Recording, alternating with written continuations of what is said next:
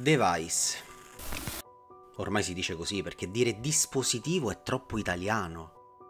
Sono entrati con prepotenza nella nostra vita e grazie a essi ne curiamo ogni aspetto, ogni momento. Ne siamo circondati. A quanti anni avete avuto il vostro primo smartphone? Ma soprattutto, era uno smartphone? Oppure un telefono di quelli di vecchia generazione? Ossia, quello che i più trendy oggi chiamano dumb phone. Un telefono standard, senza internet o app.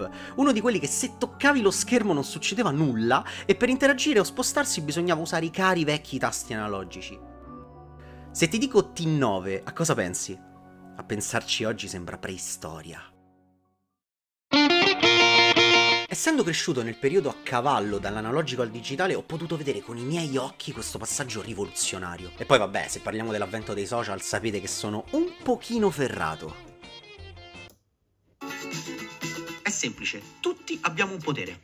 I social insomma ci hanno rivoluzionato la vita, ma ovviamente come ogni grande scoperta può essere usata sia per il bene che per il male. Ogni grande innovazione porta con sé lenti processi di aggiustamento e richiede delle correzioni in corsa, spesso drastiche, proprio affinché il bene prevalga. Oggi persone molto più qualificate di me si interrogano appunto sui rischi e le conseguenze a medio e lungo termine sul benessere digitale, sulla sicurezza, sulla privacy, ma anche temi più ampi come la democrazia o l'etica, come nel caso dell'intelligenza artificiale. Servono regole? Servono dei limiti? Una cosa è certa, per rispondere bisogna sempre partire dal dialogo, perché l'obiettivo non è vietare o privare, ma migliorare le piattaforme e renderle più inclusive e rispondenti alle esigenze di tutti, in particolare dei giovani, che se ci pensiamo un attimo è proprio per questo che nascono eventi, con lo scopo di promuovere un uso più sicuro e responsabile del web e delle nuove tecnologie, e non di metterle in soffitta perché non siamo più in grado di usarle bene. Per il Back to School 2023 il Safer Internet Center italiano, Generazioni Connesse, ha voluto mettere a confronto i giovani che usano le piattaforme digitali più popolari e le aziende che le creano.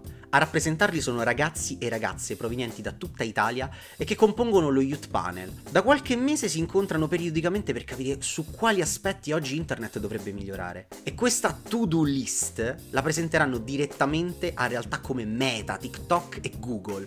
I social media... Media, si dice media, è latino, dannazione!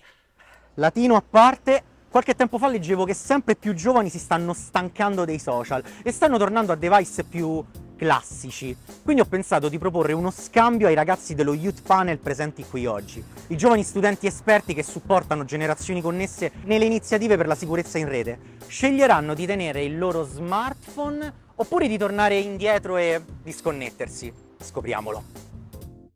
Scambieresti il tuo smartphone con questo?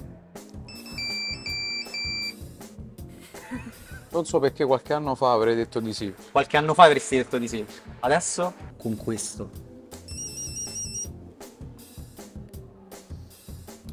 No. Prego, puoi anche provarlo. No, la Lo conosci? no. Sì, sì, sì. L'hai sì. mai avuto? No, ho avuto la versione successiva. Molto successivo. Molto. Ce l'avevo uguale. Cioè, ero piccolina, solo per chiamare. Ammazza, direi... In realtà no, no perché non sono abituato a tutte le comodità del mio iPhone e questo qui probabilmente non ci farei niente, cioè lo userei come martello forse, anche perché so che è molto Ah, resistente. questo è resistentissimo. E non lo scambierei mai perché sul mio telefono ho tutto. Idealmente sì, Mm. però dovrei mantenere anche il mio telefono. Non è Non proprio molto social. funzionale, no, ma non, non tanto nemmeno per i social. Design. Il design. Mm. Però questo sopravvive alle cadute. Sono Ok. troppo giovane per averlo avuto. Ricordi, eh, amicizie, tutto. Controlli mai il tempo di utilizzo dei tuoi social? Cosa fai quando ti rendi conto di stare troppo su un social network? Mi capita spesso di controllare i tempi di utilizzo e quando li vedo rimango sempre sbalordito perché veramente ci passo tanto tanto tempo purtroppo. Quello che faccio è eh, cercare di non eh, ricadere nello stesso errore anche se a volte ricapita. Cosa fai quando ti rendi conto di usarli troppo? Come mi comporto? Mi incazzo. Eh, mi, mi incazzo proprio con me stesso, non so, eh, dico, ma com'è possibile che io abbia perso tutto questo tempo a scrollare e non me ne sono nemmeno reso conto? Migliorerei forse l'aspetto del benessere, quindi quello che eh, fanno adesso i social media è Media, si dice media, è latino, dannazione! Avrei continuato tutto il giorno, ma dopo un po' ho voluto sviscerare le idee che hanno sparato i ragazzi alle big tech per migliorare il web.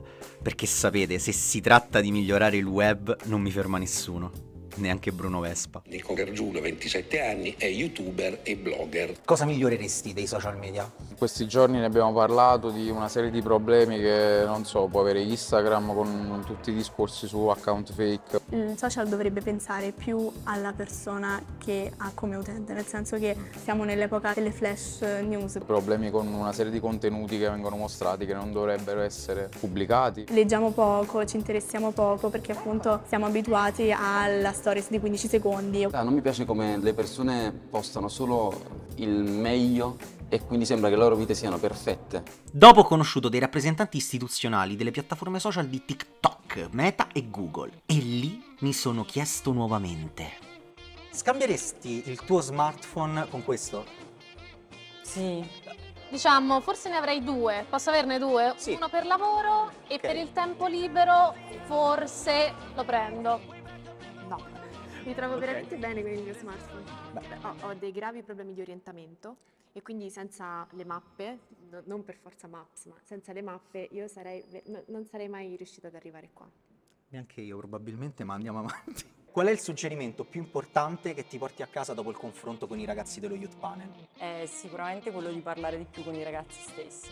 Utilizzare un linguaggio che sia più semplice, perché secondo me gli esperti come i ragazzi di oggi, cioè non dobbiamo insegnargli niente, sono forse tutti gli altri. Alcune indicazioni, alcuni suggerimenti che mi hanno fatto aprire gli occhi sul fatto che, come dire, magari non comunichiamo tanto bene, per esempio, il nostro modello di business, in che modo utilizziamo i dati, in che modo i creator possono eh, in qualche modo costruire eh, un'attività remunerativa, convertiti per chi, insomma, per, per i creator in eh, un reddito. Giornate del genere ci ricordano che forse dovremmo cominciare a renderci conto di quanto i social impattino realmente sulla nostra vita.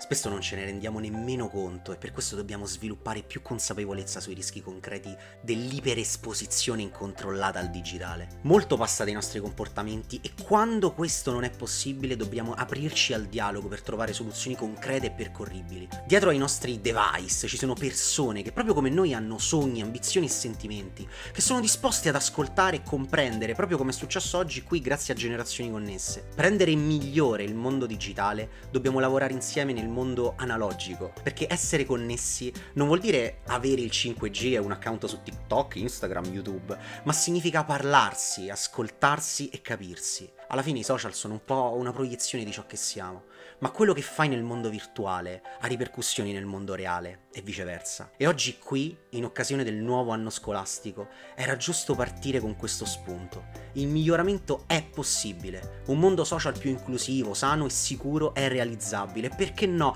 magari questo mondo virtuale, chissà, un giorno renderà migliore anche quello reale.